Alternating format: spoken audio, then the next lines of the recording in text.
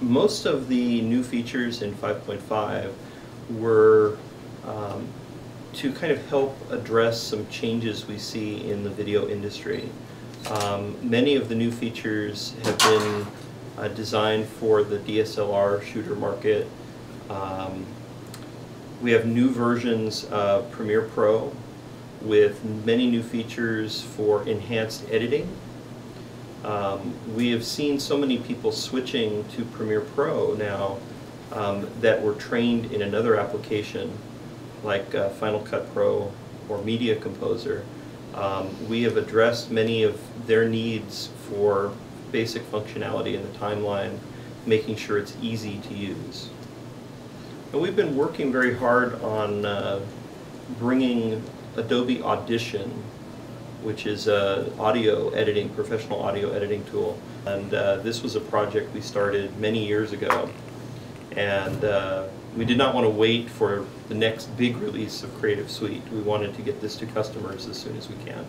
There's so many new features. It's uh, a complete new version of Premiere, After Effects, uh, new version of the Adobe Media Encoder, um, Audition, um, and there are enhancements, smaller enhancements in the other parts of the production premium tools like Photoshop and Illustrator. Um, these are not major new features in those applications, but there is a, uh, we call it a dot one update for those applications as well. And one last thing for video, we, uh, we have seen the market for video uh, computer hardware um, continues to evolve and change. And for the production premium release, uh, we have added many, many new video cards that support uh, GPU acceleration in Premiere. So, um, you know, many different models of Quadro cards. There are several different chipsets for laptops now available. So uh, it's possible to get this amazing performance with uh, many more video cards than we had before. Um, well, first off, we are seeing a, uh, a, large amount of wedding videographers using Premiere Pro because of the just the native file support, um, which is enhanced in 5.5.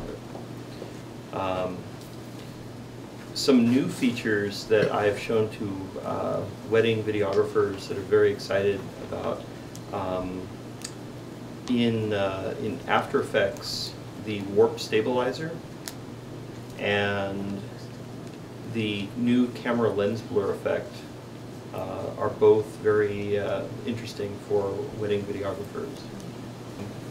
Many times uh, uh at a wedding or a live event, um, the camera operator must go handheld with the camera. And um, you know, some wedding videographers invest thousands of dollars to uh, purchase a Steadicam rig to keep the camera steady.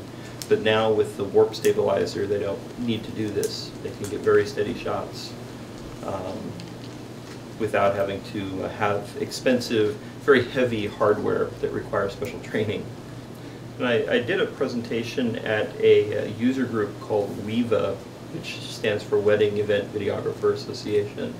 And they were very excited about the uh, camera lens blur effect because artistically with the new with shooting with DSLR cameras uh, using focus to help tell a story is becoming more common with wedding videos.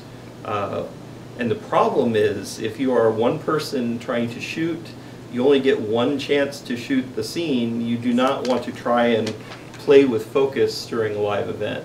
So the camera lens blur effect in After Effects makes it easy to add a focus adjustment in post-production and make it look like it came from the camera.